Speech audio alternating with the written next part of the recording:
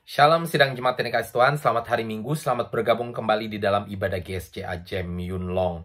Hari ini saya mau uh, memberikan firman Tuhan spesial yang sebenarnya sudah sering kita dengar, tapi untuk mengingatkan kita kembali dan terutama setelah satu tahun ya, semenjak border atau perbatasan sudah dibuka antara Hong Kong dan Macau, satu tahun juga saya sudah sering ketemu dengan sidang jemaat di GSCA Jem Yun Long. Jadi ayat ini saya percaya adalah ayat yang walaupun sudah sering didengar, tapi spesial untuk mendorong saya dan saudara kembali untuk saya kira sudah waktunya Jam Yun Long untuk bisa dapat lebih banyak teman-teman untuk beribadah bersama-sama di sana. Dan firman ini saya ambil dari Matius 28 ayat 19 sampai 20. Saya beri judul hari ini penjala manusia.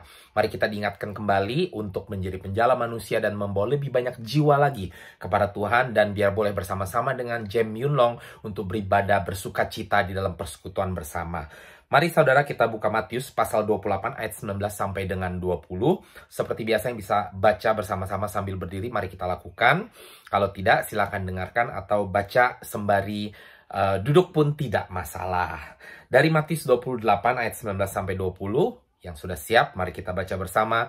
2, 3. Karena itu, pergilah jadikanlah semua bangsa muridku, dan baptislah mereka dalam nama Bapa dan Anak dan Roh Kudus Ajarlah mereka melakukan segala sesuatu yang telah kuperintahkan kepadamu, dan ketahuilah aku menyertai kamu senantiasa sampai kepada akhir zaman. Mari kita berdoa.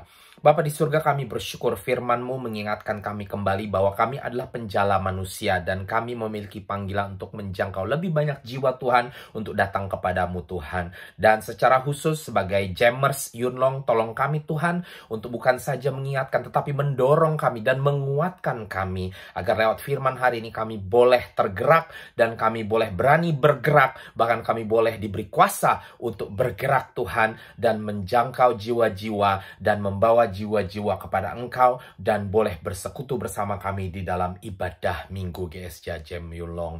Untuk itu berbicara kepada kami, pribadi lepas pribadi Tuhan hari ini di dalam nama Tuhan Yesus kami berdoa. Haleluya, mari kita semua katakan Amin. Puji Tuhan. Saudara, hari ini saya ingin memberikan tiga poin saja yang simple, sederhana, tetapi powerful atau kuat sekali menguatkan saya dan saudara, mendorong saya dan saudara untuk menjangkau lebih banyak jiwa. Jadi tahun ini mari kita lebih lagi lakukan tiga hal yang saya akan sharing kepada saudara. Yang pertama adalah ajak orang lain ke gereja. Ya, saudara ini sudah expert atau sudah ahli ya uh, membawa orang lain ke gereja. Ya, saya sudah lihat dari mulai kami memulai pelayanan di Yunlong sampai kepada zaman Covid bahkan ya. Puji Tuhan lewat Covid bahkan kita bisa melihat sis yang bergabung dengan sidang jemaat di Jem Yunlong ya. Sesuatu yang mungkin kalau menurut akal manusia tidak mungkin ya. Lah wong gembalanya belum bisa datang ke sana, tetapi karena kuasa kasih karunia Kristus Yesus, maka kita melihat ada uh, sis uh, Miriam bersama-sama dengan kita ya yang dijangkau pada saat lagi COVID saudara-saudara. Nah kalau COVID saja kita mampu menjangkau seseorang untuk bergabung, apalagi sesudah COVID. Kita sekarang sudah satu tahun setelah border dibuka dan saya mendorong sidang jemaat di uh, Yunlong untuk kembali mengajak orang-orang lain untuk bergabung ke gereja. Karena ini akan menolong saya dan saudara juga supaya kita lebih refresh, katakan kanan kiri refresh ya. Jadi nggak cuma dia-dia doang saudara-saudara ya. Apalagi saudara-saudara, uh, sekarang saya juga sudah lebih bisa sering bertemu muka dengan saudara-saudara. Jadi uh, nanti uh, juga uh, tentunya kita bisa uh, uh, atur waktu seperti terakhir saya katakan mungkin saya bisa datang pagian dan kita bertemu lebih pagi ya karena kalau memang uh, dari jam ibadah sampai selesai itu sudah biasanya tidak ada waktu toh. Tapi sebelum jam ibadah kita masih bisa bertemu di pagi hari. Nah itu kita bisa atur ya. Jadi sudah waktunya saya kira di tahun 2024 ini kita bisa mengajak lebih banyak jiwa lagi. Dan uh, boleh saya bilang kita juga uh, cukup bersyukur karena uh, Uh, sampai hari ini kita boleh terus bersama-sama saudara-saudara ya. Uh, dan terus setia melayani Tuhan. Maka mari saudara kita uh, izinkan Tuhan untuk bekerja lebih dahsyat lagi di tengah-tengah kita Jem Yunlong uh, dengan uh, kita mau digerakkan untuk membawa jiwa lebih banyak lagi ke tengah-tengah persekutuan kita ya. Mari kita ajak saudara-saudara orang-orang lain ya baik itu mungkin teman kita atau bahkan orang yang kita tidak kenal sekalipun ya yang mungkin kita ketemu di taman lah atau ketemu di restoran dan lain sebagainya. Mari kita ajak sebisa mungkinnya. Ini yang pertama ya uh, hal pertama yang ingin saya uh, ajak saudara lakukan adalah mengajak teman-teman, mengajak orang lain, mengajak orang-orang di sekitar kita untuk bergabung di dalam gereja kita. Ya, tapi sering kali memang biasanya orang antara tidak tertarik ya ke gereja atau mungkin lebih tertarik ke gereja lain, tidak masalah ya. Yang penting itu gereja bukan gereja setan, tapi gereja Tuhan, saudara-saudara ya. Tidak masalah ya.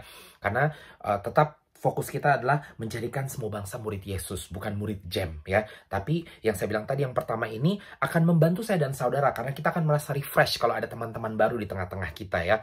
Tapi kalaupun tidak bisa, tidak masalah ya. Karena kita bukan terpanggil untuk memenuhi gereja, tapi kita terpanggil untuk memenuhi surga, saudara-saudara ya. Jadi yang poin pertama ini hanya untuk menolong saya dan saudara untuk semakin giat lagi ya bekerja di ladangnya Tuhan ya.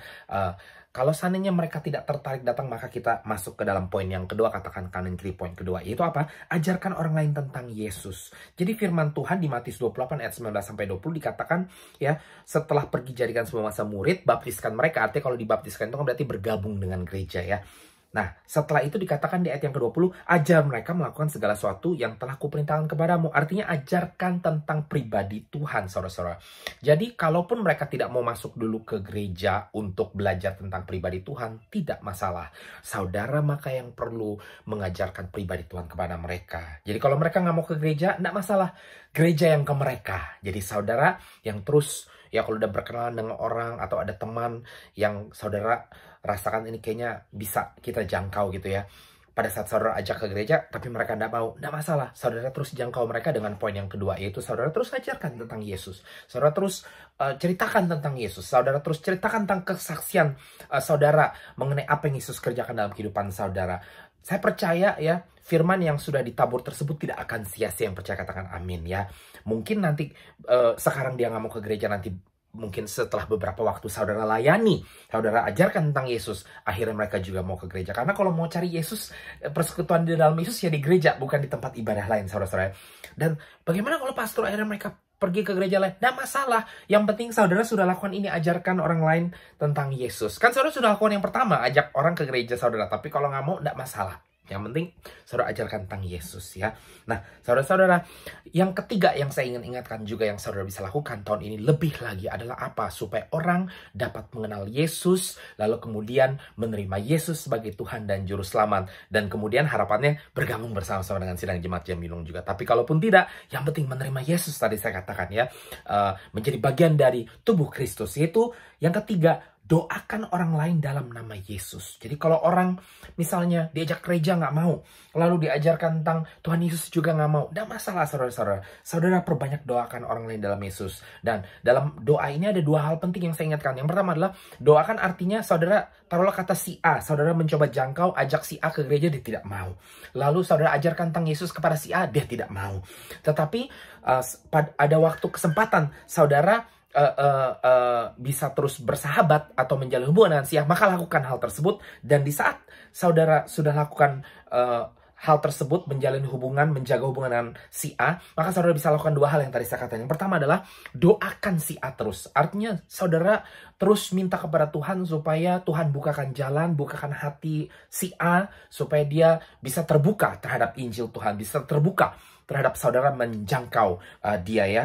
Nah, yang kedua ya selain mendoakan dia dari jauh atau tanpa dia mengetahui. Yang kedua, kalau ada kesempatan saudara mendoakan secara langsung, maka doakan ya.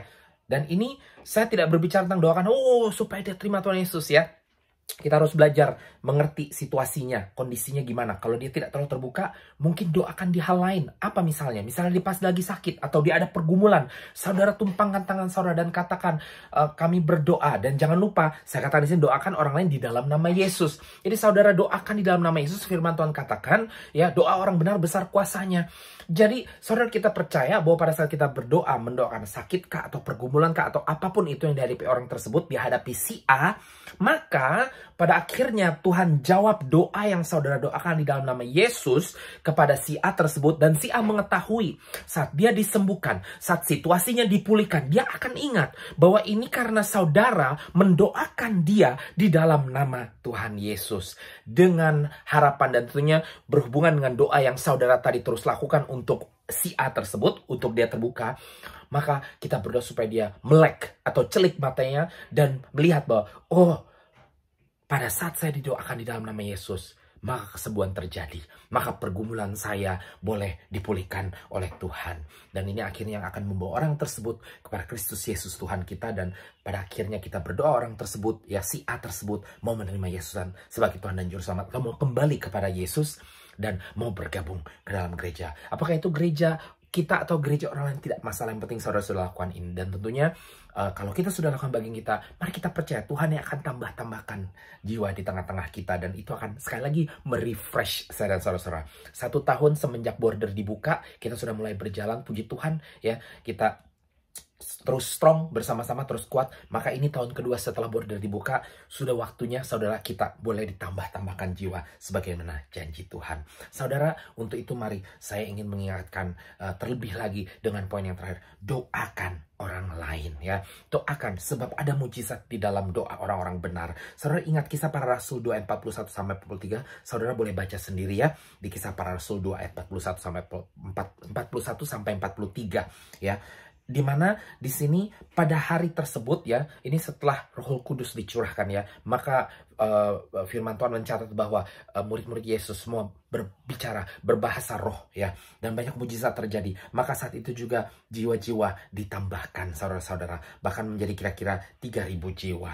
Saudara pada saat kita berdoa saat kita berkhotbah ya mungkin tidak di gereja ya saat saudara sharing tentang Tuhan Yesus itu berkhotbah saudara-saudara ya. Kita berdoa kita berkhotbah mujizat terjadi. Dan ini janjinya di dalam ayat 43 dikatakan ketakutan mereka semua karena rasul-rasul itu mengadakan banyak mujizat ini janji yang firman Tuhan katakan, orang percaya akan disertai dengan tanda-tanda ajaib. Saat kita berdoa, doa itu akan berkuasa, saudara-saudara. Dan saat ini terjadi, maka jiwa-jiwa dengan sendirinya akan ditambahkan. Jadi mari saudara, tahun ini sekali lagi saya ingin menutup khotbah saya yang mungkin singkat, tapi saya percaya sangat strong kepada saya dan saudara berbicara tahun ini kita ajak orang lain ke gereja lebih banyak lagi. Ajarkan orang lain lebih banyak lagi tentang Yesus dan mari kita doakan orang lain di dalam nama Yesus. Maka saya percaya Tuhan yang akan menambah-nambahkan uh, sidang jemaat yang ada di tengah-tengah kita. Saya harap ini menjadi kekuatan bagi saya dan saudara-saudara ya bukan saja untuk minggu ini tetapi juga untuk sepanjang tahun ini bahkan sepanjang kehidupan saya dan saudara-saudara. Shalom, puji Tuhan, selamat hari Minggu. Tuhan Yesus memberkati.